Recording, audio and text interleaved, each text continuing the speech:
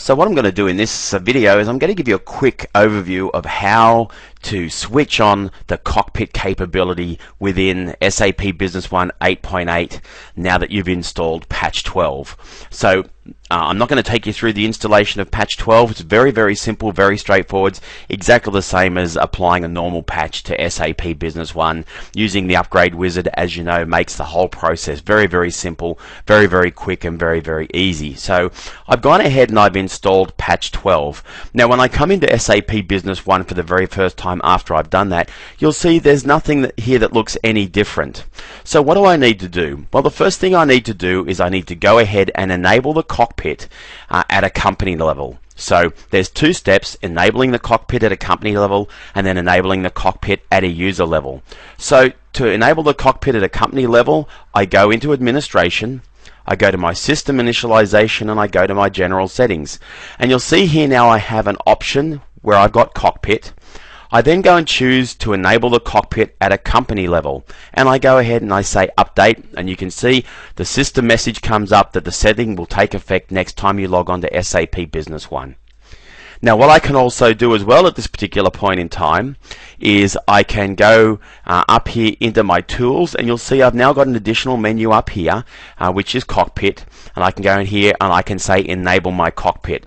So what that's done is that's enabled the cockpit not only, first of all, uh, at the company level, but I've now enabled the cockpit for me as a user.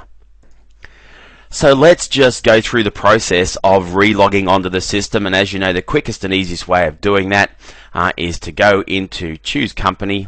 I'm going to go up here and change user. Put in my username and password again.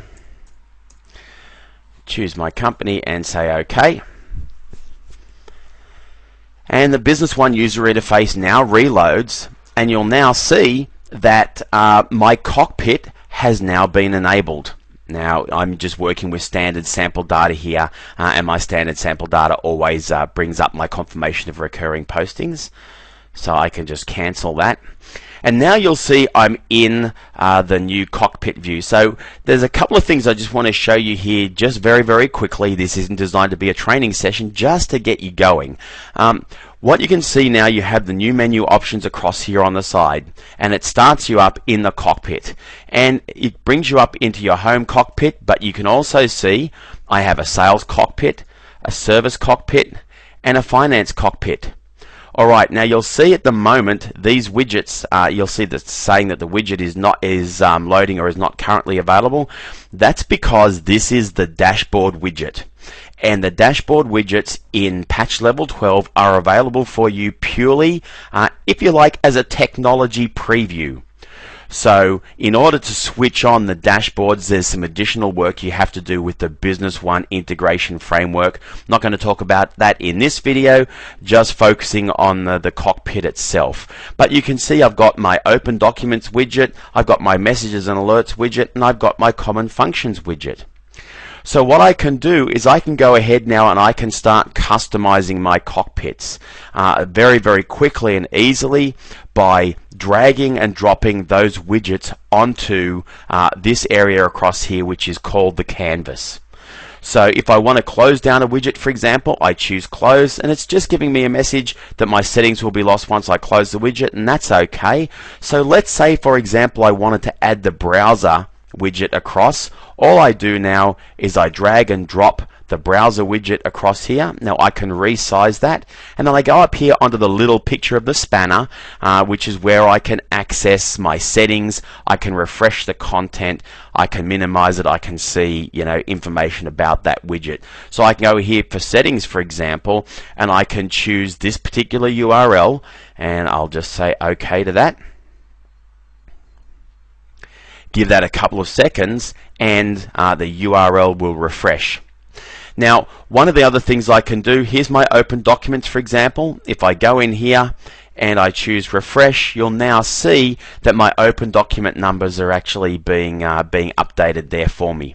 So very, very quick and easy. So there you go. There's my browser. For example, uh, I'm actually running SharePoint here uh, on my home uh, demo system. So I can go in here into settings, for example, and if I put my URL for my intranet, I can pop that in there and say OK and there you can see I get um, my company intranet coming up inside the browser. Now I can choose different components from SharePoint, these different links for example. Let's say I wanted to have my uh, business partners if uh, if I want to, I can just choose this particular screen, uh, and then I can get uh, my business partners synchronized out of SAP Business One. Now, obviously, the key here is making sure you've got plenty of screen real estate to work with.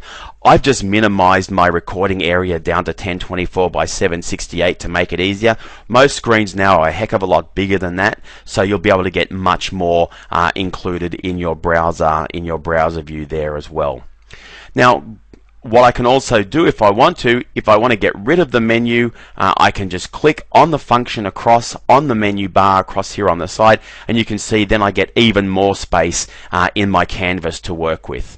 I can then go back if I want to and work with the usual module structure in SAP Business One that you're familiar with. So again, going into business partners and so on and so forth. So very, very quick, very, very easy, uh, very, very simple to work with. And of course, if I want to, uh, if I don't want to switch on the cockpit functionality uh, for myself as a user, I can of course go across here go into the cockpit function uh, and disable the cockpit.